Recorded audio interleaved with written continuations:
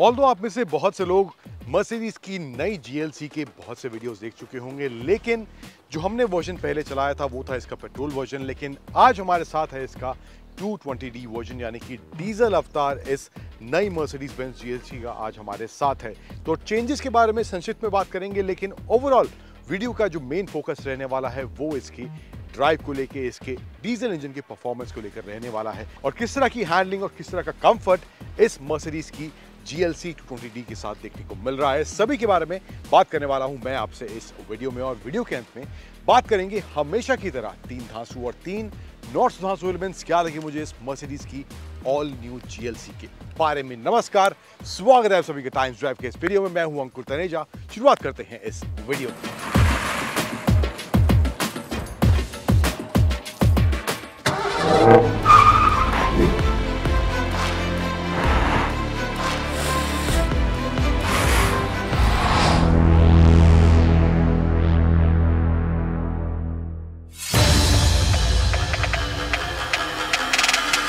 अब diesel engine जो है इस जीएलसी में माइल्ड हाइब्रिड टेक्नोलॉजी के साथ आता है। तो शुरुआत पहले करते हैं इसके ओवरऑल परफॉर्मेंस किस तरह का देखने को मिल रहा है ओवरऑल ड्राइव किस तरह की इस मर्सिडीज के इस जीएलसी इंजन के साथ देखने को मिल रही है।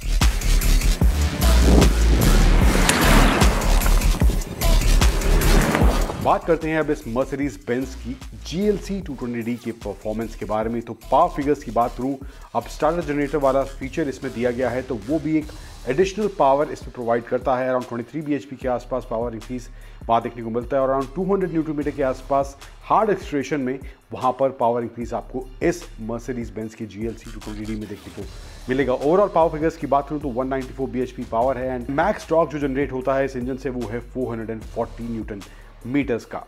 ओवरऑल ड्राइव की बात करूँ तो इनिशियल फ़ेज़ से ही गाड़ी पहले से ज़्यादा शांत महसूस होती है, जो ओवरऑल नॉइस लेवल्स हैं, वो पहले से बेटर मुझे लगता है कंटेन करे गए हैं। वहाँ पर इम्प्रूव ये मर्सिडीज़ की जी एल सी ऑब्वियसली पहले के मुकाबले महसूस होती है।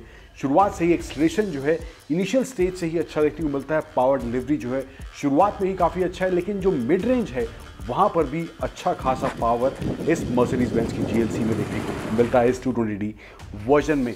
तो सिटी और हाईवे दोनों माहौल के हिसाब से मुझे लगता है पावर जो है एम्पल है एंड दोनों ही माहौल में आपको किसी भी सिचुएशन में पावर की कमी इस मर्सिडीज बेंच की जीएलसी 220D से महसूस नहीं होगी। तो ये मामला मुझे काफ़ी sorted in terms of power and torque इस गाड़ी में इन टर्म्स ऑफ़ ड्राइव महसूस हुआ सिटी एंड हाईवे दोनों की ड्राइव के दौरान। फिर ओवरऑल बात करें, जो कैबिन फील है कंफर्ट है, वो भी काफ़ी अच्छा है सीट्स का होल्ड काफ़ी अच्छा है। सस्पेंशन सेटअप जो है, वो थोड़ा सा आपको स्टिफर एंड पर महसूस होगा एंड ऑल्सो इसमें जो है एयर सस्पेंशन की कमी आपको खेलेगी। मर्सिडीज की और गाड़ी में हमने देखा है, लेकिन यहाँ पर इस जीएलसी में वो एयर सस्पेंशन वाला फीचर मिसिंग है। तो इन केस आप उस तरह का कंफर्ट एक्सपेक्ट कर रहे थे कि मोड चेंज होंगे तो उस तरह का सस्पेंशन की ट्यूनिंग भी ऑटोमेटिकली चेंज होगी तो वो वाला एस्पेक्ट आपको यहाँ पर इसमें मिसिंग देखने को मिलेगा। ओवरऑल ड्राइव के हिसाब से बात करूँ, जो ओवरऑल फील है सस्पेंशन सेटअप का तो वहाँ पर मामला जो है आपको थोड़ा सा स्टिफ महसूस होने वाला है सिटी और हाईवे दोनों ही सिचुएशन के अंदर। ब्रेकिंग की बात करूँ तो प्रिसाइज है, सटीक है, अच्छी बाइट है, तेज़ रफ्तार, धीमी रफ्तार सिटी हाईवे दोनों ही कंडीशंस में ब्रेकिंग प्रिसाइजली काम करती हुई दिखाई देती है।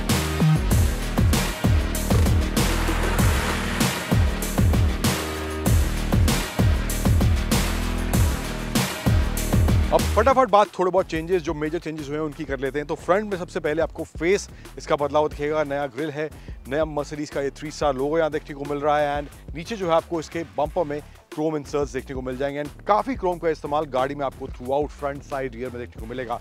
नए हेडलैम्प्स में दिए गए हैं, जो कि एडेप्टिव हेडलैम्प्स टेक्नोलॉजी के साथ आते हैं एंड एलॉय व्हील्स का डिज़ाइन भी यहाँ पे कुछ आपको बदला हुआ देखने को इसमें मिलने वाला है। 19 इंच के व्हील्स दिए गए हैं, नीचे की तरफ़ आपको फुटबोर्ड देखने को मिल जाएगा। क्रोम का एलिमेंट आपको इसके विंडोज़ के आसपास दिया गया है। पीछे आए तो यहाँ पर भी आपको टेल लाइट का डिज़ाइन थोड़ा बदला हुआ देखने को मिलने वाला है। In terms of length and all गाड़ी पहले से थोड़ी लंबी हुई है, इसका थोड़ा सा व्हील बेस भी बड़ा है। And also it gets this massive 620 litres of boot space अब बाकी मर्सिडीज की गाड़ियों के मुकाबले एक जो बेनिफिट यहाँ पे इसमें देखने को मिलता है जीएलसी में, इसका जो स्पेयर टायर है, वो आपको यहाँ पे नीचे कंपार्टमेंट दिया हुआ है, उसमें वहाँ पे अलग से उसकी जगह बनाई गई है एंड इसका मतलब ये है कि जो बूट स्पेस है कम्प्लीटली आपको आपके लगेज के लिए मिलता है कोई स्पेयर टायर अलग से, वो स्पेस ऑक्यूपाई नहीं करेगा आपके बूट के अंदर। तो ये एक बेनिफिट यहाँ पे है एंड जो लोडिंग लिप है, वो भी काफ़ी फ्लैट है तो सामान रखना, उतारना काफ़ी ईजी यहाँ पर जीएलसी में इसमें हो जाता है। Also it gets this powered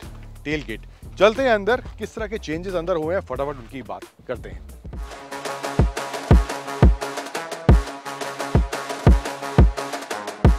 अब अंदर कैबिन की बात करें तो यहाँ पे आपको इसमें 11.9 इंच का ये वर्टिकल स्क्रीन मिलता है।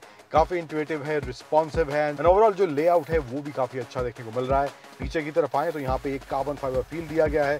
अंदर इसके दो cup holders wireless charging USB C charging point वगैरह देखने को मिल जाते हैं। एंड ऑल्सो आमरेस्ट यहाँ पे दिया गया है, इसमें भी आपको यूएसबी सी चार्जिंग पॉइंट्स देखने को मिल जाते हैं। स्क्रीन जो है इंस्ट्रूमेंट क्लस्टर की, वो आपको 12.3 इंच की इसमें देखने को मिलती है। एंड सेम मर्सिडीज वाला लेआउट ही आपको भी बाकी गाड़ियों में देखने को मिलता है, वैसा ही लेआउट है, जिसको आप चेंज भी कर सकते हैं अलग अलग आप थीम इसमें सेट कर सकते हैं तो ये एक ऑप्शन है। And two zone climate control इस जीएलसी में देखने को मिलता है। कुछ चीज़ें जो मुझे इस जीएलसी में मिसिंग लगी हैं, वो है कोल्ड सीट को लेकर। हीटेड सीट का ऑप्शन दिया गया है, लेकिन कोल्ड वेंटेड सीट्स का ऑप्शन देखने को नहीं मिलता है। Heated seats I don't think Indian weather के हिसाब से कोई काम की साबित हो सकती है। एंड ऑल्सो इसमें आपको मसाज सीज का ऑप्शन भी नहीं मिलता है, जो आई थिंक पहले वाली जनरेशन में यहाँ पर इस जी में आता था। तो यहाँ पे वो फीचर भी आपको मिसिंग देखने मिलने वाला है। बट ओवरऑल जो इंटीरियर है, उसका लेआउट है, काफ़ी प्रीमियम है, जिस तरह की पैटर्न्स आपको देखने को मिल रहे हैं। यहाँ पर सिल्वर लाइन वुड फिनिश वगैरह दिया हुआ है।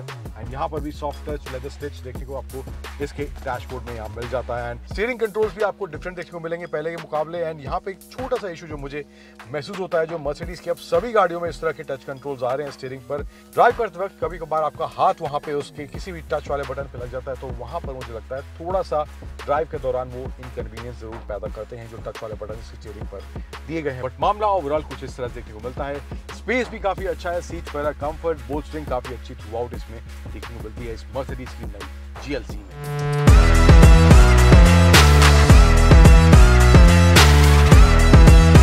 अब बात करते हैं तीन धांसू और तीन नॉर्थ धांसू एलिमेंट्स क्या लगे मुझे इस मर्सिडीज की जीएलसी की क्वांटिटी के बारे में तो पहले बात करते हैं नॉट सुधांशु एलिमेंट्स की। जिसमें पहला है, इसमें आपको कूल्ड सीट का ऑप्शन नहीं मिलता है, जबकि आपको हीटेड सीट का ऑप्शन दिया गया है फ्रंट टू सीट्स के लिए, जो मुझे लगता है किसी काम का नहीं है इंडियन वेदर के हिसाब से। देन दूसरा नॉट सुधांशु एलिमेंट है, वो है इसमें मसाज सीट्स का ऑप्शन नहीं दिया गया है। पहले आता था, लेकिन अब नहीं दिया गया है तो यहाँ पे वो फीचर भी आपको मिसिंग देखने को मिलने वाला है। देन तीसरा, नॉर्थ नॉट ट्रांसफॉर्मेंट जो मुझे इसके बारे में लगा है मर्सिडीज की और गाड़ियों में हम एक्टिव सस्पेंशन एयर सस्पेंशन देखते हैं, लेकिन यहाँ पर वो आपको इस जी में मिसिंग देखने को मिलने वाला है। अब बात करते हैं तीन धांसू एलिमेंट्स क्या लगे मुझे इस मर्सिडीज की जीएलसी के बारे में? इसमें से पहला है ओवरऑल जो कैबिन का फील है, जो लेआउट है स्क्रीन वगैरह का, जो डैशबोर्ड का लेआउट है, काफ़ी प्रीमियम फील वो ज़रूर देता है। देन दूसरा थासो एलिमेंट जो मुझे इसके बारे में लगा है, वो है इसके एन लेवल्स डीजल इंजन होने के बावजूद भी जो नॉइस लेवल्स है अंदर, वो ना के बराबर है। गाड़ी जब स्टार्ट या बंद होती है, तब आपको ना के बराबर आवाज़ इस गाड़ी में अंदर बैठे हुए सुनाई देगी। देन तीसरा और फाइनल धांसो एलिमेंट जो मुझे इसके बारे में लगा है, वो है इसके डीजल इंजन का परफॉर्मेंस पावर डिलीवरी टॉक शुरुआत से ही काफ़ी अच्छा इस मर्सडीज की जीएलसी क्वांटिटी में देखने को मिलता है।